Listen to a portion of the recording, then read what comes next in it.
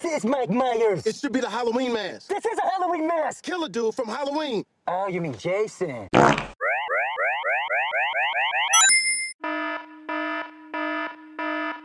Before we get started, gotta give a huge shout out to Ty Rector. You answered last week's question, and everybody knows that stuffed crust pizza is the best. It's that spooky time of year, and we're gonna review some figures that you guys have asked for. So let's take a look at the first minifigure. With the new Halloween movie out with Mike Myers, I figured let's review some minifigures with Mike Myers. Now, it was a little bit difficult to try and find some stuff online, but this is what I found. This is from Build-A-Brick.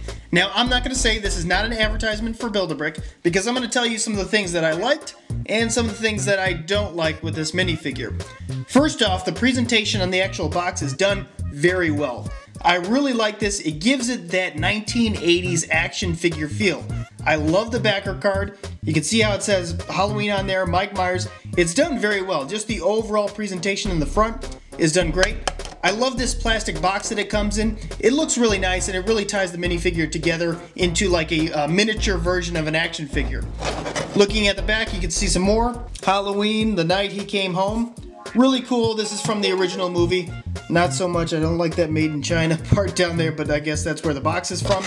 Now, when I looked online, I like the fact of the overall presentation, right?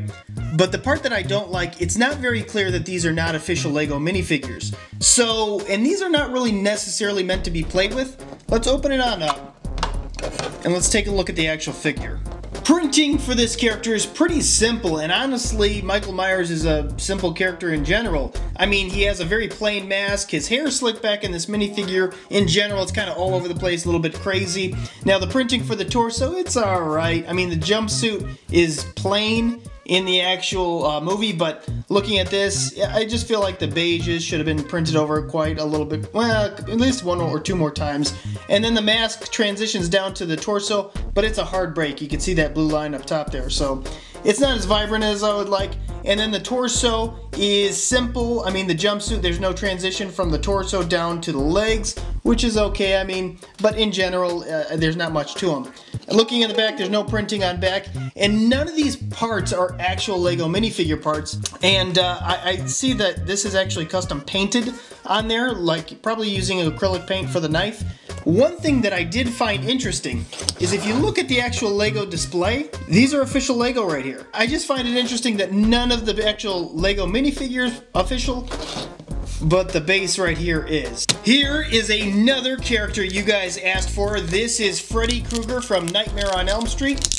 And again, this one is from Build-A-Brick. There's no doubt about it. Freddy Krueger is horrifying and he will haunt your nightmares. I just like the presentation for it. I like the fact that it looks like a 1980s Kenner toy figure. It makes, it just kind of gives it a little bit more complete look. Now, um, great graphics on here. Looking at the back, a little bit provocative, but this is actual movie poster for the original one, A Nightmare on Elm Street, and it gives us some more detail on the bottom there. But I think it's just actual movie poster that shrunk down to put on the backer card. Opening this figure up, let's take a look at him himself. Same thing again as the Mike Myers. This is, none of this is official Lego, at least I think. I'm gonna double check here, yeah. Nothing on there, well, maybe, what does it say? No, it says 13. Um, nothing on the top. Let me make sure the back, yeah, none of this is actual official Lego. But it looks okay, and it's supposed to be a display, so you don't really play with it. You're not going to really notice any issues with the clutch power because you're not going to be playing with them. Dirty uh, front torso here. Looks okay, but you can see a little bit of a gap in between the torso and the legs. Even if I push that down, the gap's still there. That's just indicative of the actual knockoff minifigures. Printing on the side arms, printing on this side arms. He's got that classic sweater look. Um, actually, the, what's interesting is the back's a little bit more detailed than the front. Maybe, wait a minute. Was that put on backwards? Weird. Oh, okay, so here's, uh, I didn't realize this is two printed head. Very interesting, I didn't know that. So I have another minifigure head that is from a Deadpool variant that I think would fit this a little bit better, but this one looks okay. But let me switch out this head with the Deadpool variant and see if that looks any better. I don't know, I think that one looks a little bit more detailed. Let me know in the comments which one you guys like better. Do you like this one or do you like this one right here? Which one do you think fits Freddy, uh, Freddy, Freddy Krueger better? Here are the two displays side by side. Let me know in the comments too, who would win in a fight? Would it be Freddy Krueger or Michael Myers? Who do you think is stronger? So interestingly enough, the last video I did was a brick loot video. Now I thought that that was the October release, but I was wrong. I had some backlog of some stuff that I needed to get done, and the, the October brick loot subscription box came in. And this one's Halloween themed, so I apologize for that. But here's the box, and let's open it up and see what we got it seems like a bigger stuff and just higher quality uh, compared to last month. So the overall theme is weird science. Weird science is pretty closely related to Halloween, at least in my opinion. You got like Frankenstein and stuff like that. So uh, what's inside? We have the science lab. Then we have circuit cubes, which I've never played with. I'll be interested to see what that's about. A fun pack with a bunch of different lab accessories, and then Bill Nye the Science Guy. So let's take a look first at uh, the custom minifigure right here. Open mine up. Small disclaimer, I was never a fan of Bill Nye the Science Guy. I was always a Beakman's World guy. I just thought it was more interesting. Plus, you got the like the giant rat.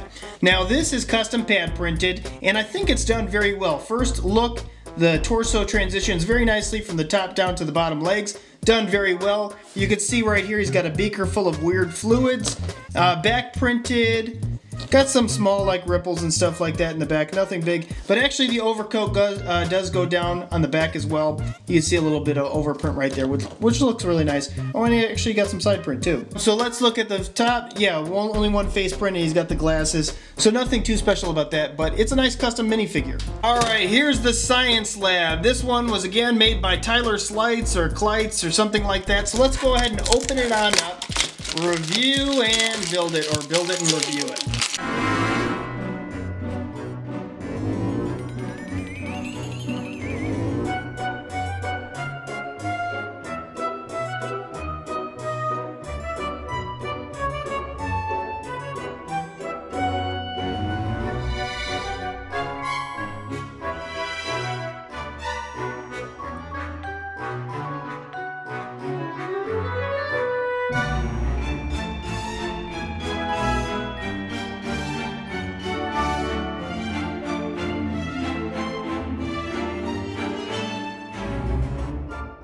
Here's the finished build. Looking right here, there's a microscope, there's a lamp right here. This is some type of test tube holder, and the most important thing is the coffee. You can't get science done without coffee. We could put Bill Nye-ish guy... You know what, let's get rid of Bill Nye. Let's uh, put the toy gander right there. What an improvement. Okay, circuit cubes. Now, I don't know what's in here. I haven't opened it up, and I don't know anything about it, so this is to be a little bit of discovery as we go along. Here's all this stuff. There's a, oh, that's cool. It's all USB charged. So I would imagine that this is, uh, yeah, so there's a lithium ion in there, I would imagine. Here's some stuff right here. And what is this? Oh, I see. Maybe it goes into here? We'll figure that out. I don't know what this is, but hold on. I'm gonna I'm gonna fast forward this to see if I can like put it together and make something out of it.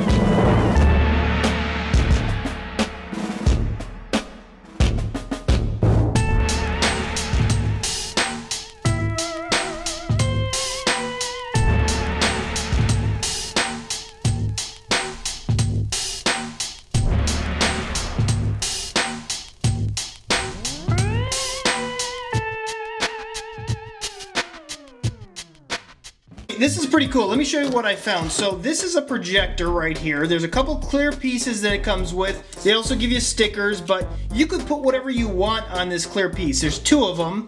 And what it does, it will essentially project it out onto the wall. Now, this is like the power supply, this is the light source. These aren't official Lego, but they're all interchangeable and they will connect with Lego. Now, you turn that on, and you can see it's really bright. So, for example, like this, we put this in here like so. And you gotta make sure that the, the connection still stays. And let me see if I can move it on up, turn off the light, and see what projects. I'm Starman. So this is a light mixer, and what you do, you connect the power source and the light like you normally would, but you have these different translucent pieces, and you can mix them into there, and basically it'll show you what the two colors will will make when you mix the two. So I thought that's kind of interesting. There's also a lighthouse that you can do. I didn't build this one yet, but you could put this together and it's essentially like a lighthouse. And you can connect that onto any like Lego piece, Lego set that you have. Finally is the Brick Loot Fun Pack. This is just a menagerie of science things, although this pink mug kind of reminds me of Homer Simpson's cup. Or maybe it was, uh, who was that? Krabappel, yeah. I think she came with this mug. Uh, you got a telescope right here, a chalice, and a bunch of flasks with weird liquids in them. Alright guys, that's what I have for today. If you like any of this stuff, you can check out uh, toygander.com. I think I have a link in there for the brick loot stuff. Or you could just go to the description. I'll put a link in there as well. So that's what I have. I appreciate you guys so much. Don't forget to click that thumbs up button and subscribe. And until next time, you can help us take a gander.